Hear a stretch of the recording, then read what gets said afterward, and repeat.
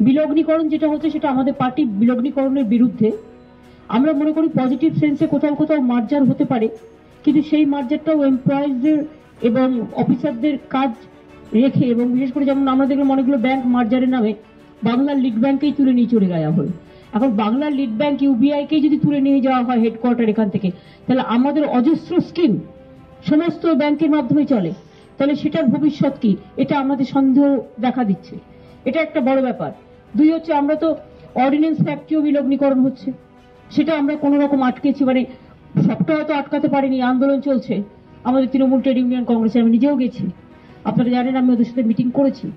তারপরে ধরুন banking sector ordinance factory sector ওদিকে বিএসএনএল সেক্টর যেটা টেলিফোন এয়ার ইন্ডিয়া এয়ার দেখুন কতগুলো জিনিস হচ্ছে ইন্ডিয়ার নাম থাকে এবং ইন্ডিয়ার নামের সাথে সংশ্লিষ্ট থাকে, এটা গর্ববোধ করি আমরা। যেমন একটা হচ্ছে এয়ার ইন্ডিয়া একটা হচ্ছে ইন্ডিয়ান রেলওয়ে একটা হচ্ছে বি- আমাদের ইভেন আমাদের বেঙ্গল কেমিক্যালস সেটা পর্যন্ত তুলে দেওয়া হচ্ছে। এবং ভারতীয় পেট্রোলিয়াম, ভারত পেট্রোলিয়াম, সেটাকেও পর্যন্ত ডিসইনভেস্টমেন্ট করে দেওয়া হচ্ছে। এখন যদি এটাই একমাত্র সলিউশন হয়, যে সব পাবলিক সেক্টরগুলোকে ডিসইনভেস্টমেন্ট করে দিয়ে সেই টাকাটা নিয়ে আপাতত ক্রাইসিস মেটানো, এটা হয়তো টাইম দিন মিটবে, কিন্তু যতক্ষণ পর্যন্ত ইকোনমিক স্টেবিলিটি না আসবে এইটা কিন্তু সলিউশন নয়। তার কারণ বাড়তে বাড়তে বাড়তে বাড়তে ইকোনমিক ডিজাস্টারটা আরও বাড়বে। আমার মনে হয় এটা নিয়ে দেশের এক্সপার্টদের সাথে প্রধানমন্ত্রী কথা বলুন, দরকারে অল পলিটিক্যাল পার্টির মিটিং করুন, কারণ দেশটা আমাদের সবার। ইলেকটেড গভর্নমেন্ট যখন ক্ষমতা এসছে, তারা কাজ করবে। আমাদেরও ইলেকটেড গভর্নমেন্ট এখানে কাজ করবে। ইলেকটেড গভর্নমেন্টকে নিশ্চয়ই কাজ করতে দেওয়া উচিত। সাথে সাথে পজিটিভ সেন্সে পজিটিভ যে কথাগুলো, আমার মনে হয় সকলের ওপিনিয়ন নেওয়া উচিত। তাতে হয়তো পাঁচটা ভালো ওপিনিয়ন বেরোতেও পারে, যাতে আমাদের দেশটা বাঁচবে, যাতে এমপ্লয়মেন্ট ডিটোরিয়েশন হবে না এমপ্লয়মেন্ট অপরচুনিটি বাড়বে। এখন এমপ্লয়মেন্ট হচ্ছে না এমপ্লয়মেন্ট টোটাল বন্ধ। মানুষ খরচা কমিয়ে দিয়েছে, এটা খুব খারাপ কথা।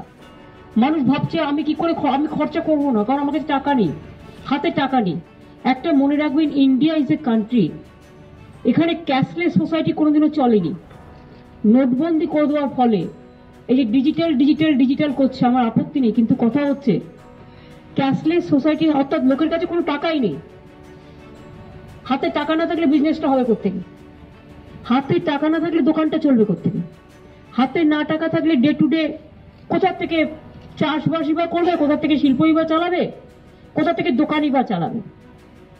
হ্যাঁ আমি এটা মনে করি নিশ্চয়ই গভর্নমেন্টকে ট্যাক্স দেওয়া উচিত ইনকাম ট্যাক্স আছে, দেবে জিএসটি ট্যাক্স আছে, দেবে, তাতে তো কারও কোনো আপত্তি নেই যদি সঠিকভাবে হয়।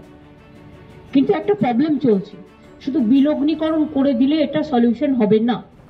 বিলগ্নীকরণ তো আগেও পঁয়তাল্লিশটা বলেছে। কালকেও কতগুলো বলছে? তো সবটা বিলগ্নীকরণ করে বলছে এক লক্ষ ছিয়াত্তর হাজার কোটি টাকা আর আশি হাজার কোটি টাকা আমরা পাবো।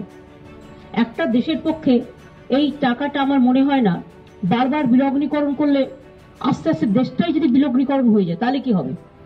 কতগুলো সেক্টর আছে যেখানে ডিসইনভেস্টমেন্ট ইনভেস্টমেন্ট করলে সিকিউরিটি কোয়েশ্চেন হয়।